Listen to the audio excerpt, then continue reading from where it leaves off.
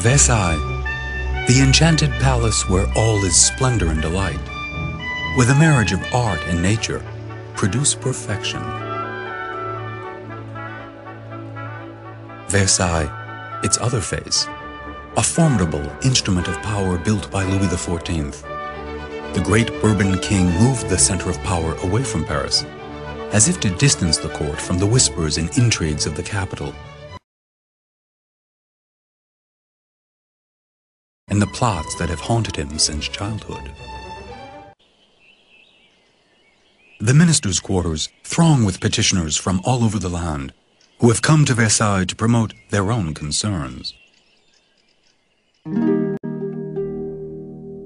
The second gate, destroyed during the revolution, is the real entrance to the palace. It is locked by night, but by day it is open to all. Everyone has access to the king, Understandably, this freedom astonishes foreigners. Guards stand by to confiscate firearms, to search carriages authorized inside the royal courtyard, and to make sure everyone is properly dressed. But everything has been anticipated. Those who have neither the means nor the right to carry a sword and hat can rent them at the entrance.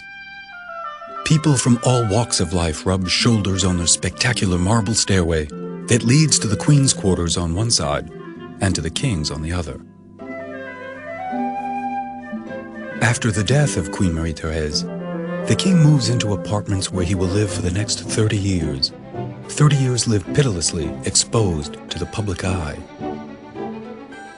24 bodyguards live in the guard room at all times.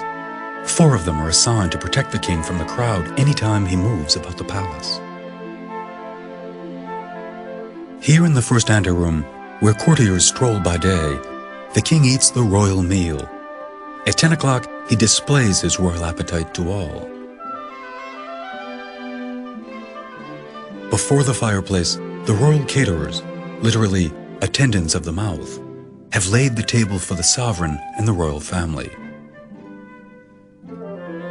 Lords and ladies take their places in the anteroom according to rank, in the presence of curious passers-by, astounded by the spectacle. Through the windows of the second anteroom, one can see the Hall of Mirrors.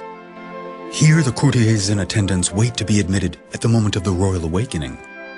This room, called the Bull's Eye, takes its name from the curious shape of its circular window. Frolicking infants and cherubs, this frieze embodies the tastes of an aging king who demands that youth be ever present about him.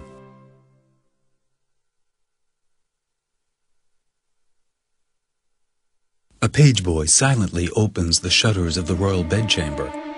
Golden light suffuses the chamber. Slowly, the king awakens.